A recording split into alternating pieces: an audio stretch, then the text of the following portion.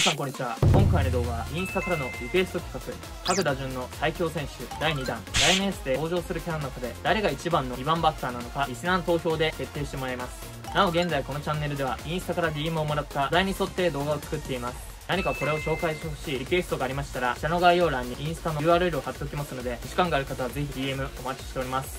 最近はたくさんの DM をいただいており面白い企画を考えてくださりリスナーの皆様ありがとうございます。ということで本題に戻ります。この最強2番バッター総選挙の投票方法の方は Google ホームでの投票となっています。下の概要欄とコメント欄に URL 貼っておきますのでそこから投票ページに行ってもらってリスナー側も最強2番バッターにチェックを入れて投票。投票期間は動画投稿日から1週間後の23時59分までとなっています。たくさんのご投票お待ちしております。この動画のコメント欄の方にはなぜその選手にしたのかの理由を言ってくださる方がいればコメントの方よろしくお願いします。なおこの最強2番バッターの投票の方では主の方で条件を設定。1つ目2番を公式戦で経験しなくても OK2 つ目 OB 選手あり。このように理由な条件を今回も設定しました。改めましてリスナーと一緒に最高の動画を作っていきたいのでご投票並びにコメントの方よろしくお願いします。